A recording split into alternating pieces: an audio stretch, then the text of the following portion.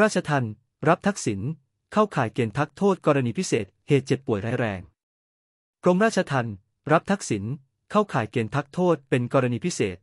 เนื่องจากเจ็บป่วยร้ายแรงหรือพิการ หรือมีอายุตั้งแต่ 70 ปีขึ้นไปแต่จนถึงวันนี้กรมราชทัณฑ์ยังไม่ได้รับรายงานเรือนจำพิเศษกรุงเทพวันที่ 17 มกราคมนายสมบูรณ์ม่วงกล่ำที่ปรึกษารัฐมนตรีว่าการยุติธรรมนายกูเฮงยาวอาซันเลขารัฐมนตรีว่าการยุติธรรม พร้อมด้วยนายสิทธิสุธีวงศ์รองอธิบดีกรมราชทัณฑ์ฝ่ายบริหาร และนายแพทย์สมภพสังคุตแก้วหัวหน้าผู้ตรวจราชการกรมราชทัณฑ์ร่วมกันแถลงประเด็นสำคัญของกรมราชทัณฑ์ซึ่งอยู่ในความสนใจของประชาชน นายสมบูรณ์ม่วงกล่ำที่ปรึกษารัฐมนตรีว่าการยุติธรรมกล่าวว่า ภายหลังจากที่นายทักษิณ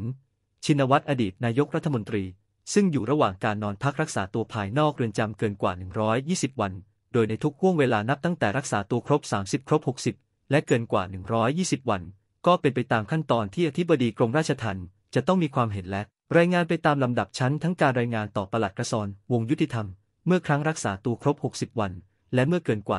120 วัน ก็ต้องรายงานให้รัฐมนตรีรับทราบ ซึ่งเมื่อวันที่ 12 มกราคมที่ผ่านมานางพงศวัสดิ์นิลโยธิน ก็ได้เซ็นรับทราบการอนุญาตนอนพักรักษาตัวภายนอกเรือนจำจากนั้นวันนี้ 16 มกราคม พันตำรวจเอก ทวีสอดส่อง รัฐมนตรีว่าการยุติธรรม ก็ได้เซ็นรับทราบถึงการนอนพักรักษาตัวของนายทักษิณที่เกินมา 136 วันถือว่าเข้าเงื่อนไข และปฏิบัติถูกต้องตามกฎหมาย นายสมบูรณ์กล่าวอีกว่ากรณีของนายทักษิณที่นอนพักรักษาตัวภายนอกเรือนจำต้องยอมรับว่าได้ถูกตรวจสอบจากหลายหน่วยงานไม่ว่าจะเป็นสำนักงานผู้ตรวจการแผ่นดิน และสำนักงานปปชเป็นต้น โดยเฉพาะทางสำนักงานผู้ตรวจการแผ่นดิน มีตัวแทนได้ขึ้นไปบนชั้น 14 โรงพยาบาลตำรวจ และได้พบนายทักษิณซึ่งส่วนตัวตนเองในฐานะข้าราชการการเมือง ก็เชื่อมั่นว่านายทักษิณนอนพักที่โรงพยาบาลตำรวจจริง ไม่ได้อยู่ที่คอนโดอย่างที่สังคมเคลือบแคลงสงสัยแน่นอน ตนจึงอยากให้การถแถลงข่าววันนี้ ได้ลงรายละเอียดลึก เพื่อให้สังคมได้เข้าใจข้อเท็จจริงนายสิทธิสุธีวงรองอธิบดีกรมราชทัณฑ์และในฐานะโฆษกกล่าวว่าสำหรับความคืบหน้าของระเบียบกรมราชทัณฑ์ว่า ด้วยการดำเนินการสำหรับการคุมขังในสถานที่คุมขังพุทธศักราช 2566 นั้น เมื่อสัปดาห์ที่ผ่านมาทางกรมราชทัณฑ์ได้มีการประชุมและรายงานต่อคณะกรรมการราชทัณฑ์ให้รับทราบถึงการดำเนินการเพราะกฎกระทรวงกำหนดให้กรมราชทัณฑ์ต้องเอาอกระเบียบนี้ส่วนความคืบหน้าของระเบียบแนวทางการปฏิบัติ และกำหนดคุณสมบัติของผู้ต้องขังที่จะต้องมารองรับระเบียบกรมราชทัณฑ์ว่า ด้วยการดำเนินการสำหรับการคุมขัง ในสถานที่คุมขังพุทธศักราช 2566 หรือระเบนิยบคุมขังนอกเรือนจำอยู่ระหว่างการดำเนินการ ซึ่งในวันประชุมทางฝ่ายเลขา ก็ได้นำเสนอในที่ประชุมว่า ถ้าหากคณะกรรมการราชทัณฑ์ท่านใดมีข้อคิดเห็นข้อเสนอแนะทางกรมราชทัณฑ์ก็จะต้องรับฟังอีก ทั้งในส่วนของผู้ทรงคุณวุฒิก็จะส่งข้อมูลให้กรมราชทัณฑ์เพื่อเตรียมยกร่างหลักเกณฑ์ ประกอบการพิจารณาแต่ณวันนี้ระเบียบคุมขังนอก เรือนจำยังไม่ได้มีการดำเนินการใด เพราะต้องรอระเบียบหลักเกณฑ์แนวทางการปฏิบัตินี้ก่อนส่วนกลุ่มผู้ต้องขังในรายคดีใด ที่จะได้รับการละเว้นจากระเบียบดังกล่าว เราต้องใช้ในการจำแนกวิเคราะห์เช่นกัน ว่ารายคดีใดจะได้ประโยชน์ หรือรายคดีใดต้องละเว้นแต่ตอนนี้ยังไม่มีความชัดเจน เพราะต้องไปศึกษาให้รอบคอบก่อนว่าจะแบ่งกลุ่มอย่างไร ส่วนจำนวนผู้ต้องขังล็อตแรกที่จะใช้พิจารณาก็ยังไม่สามารถระบุได้ ต้องรอการศึกษาให้รอบด้านก่อน และต้องรอฟังความเห็นจากคณะกรรมการราชชันและหน่วยงานที่เกี่ยวข้องด้วยเพื่อความรัดกุมที่สุดนายสิทธิ์กล่าวถึงประเด็นโครงการพักการลงโทษกรณีมีเหตุพิเศษว่าเรื่องนี้เป็นประโยชน์ของผู้ต้องขังที่มีสิทธิ์ ได้รับแต่การพิจารณาว่าผู้ต้องขังรายใด จะเข้าเกณฑ์โครงการดังกล่าวนั้น ทางพอบเรืออนจำแต่ละแห่งจะเป็นผู้พิจารณาว่าใครมีความเหมาะสม หรือผ่านคุณสมบัติได้รับการพักโทษทั้งแบบกรณีมีเหตุพิเศษ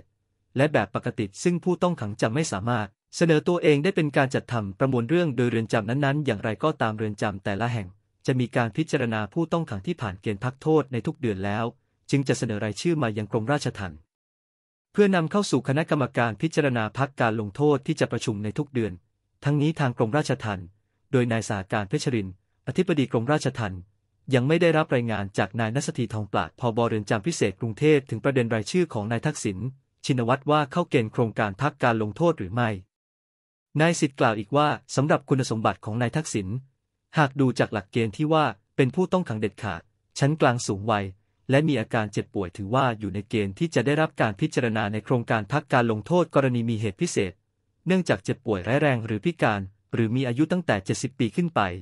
นักโทษเด็ดขาดชั้นกลางขึ้นไป แต่อย่างไรนะวันนี้ทางกรมยังไม่ได้รับรายงานจากเรือนจำพิเศษกรุงเทพจึงยังไม่มีข้อมูลตรงนี้ส่วนกระบวนการหากนายทักษิณผ่านเข้าโครงการดังกล่าวจริงจะเป็นการดำเนินการโดยเรือนจำพิเศษกรุงเทพซึ่งมีแนวทางป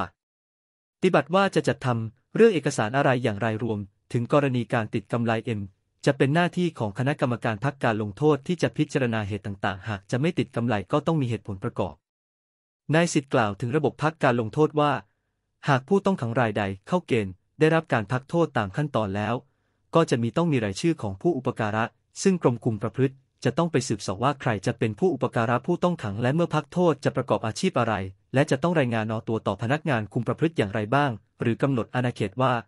ห้ามพ้นรัศมีเท่าใดหรือห้าม เดินทางออกนอกราชอาณาจักรส่วนบทบาททางการเมือง ในระหว่างการพักโทษสามารถกระทำได้หากไม่เป็นการฝ่าฝืน หรือไปทำอะไรที่ผิดระเบียบ ส่วนกรณีของนายชวลิตทองด้วง หรือเสียแป้งผู้ต้องขังของกรมราชทัณฑ์ซึ่งอยู่ระหว่างการหลบหนีจับกลุ่มของเจ้าหน้าที่ตำรวจว่ายังอยู่ระหว่างการรับประสานกับตำรวจ เป็นระยะและพอทราบความคืบหน้าที่ยังไม่ชัดเจนว่าเจ้าตัวอยู่ในประเทศ หรือหนีออกนอกประเทศไปแล้ว ทางตำรวจยังคงอยู่ระหว่างดำเนินการ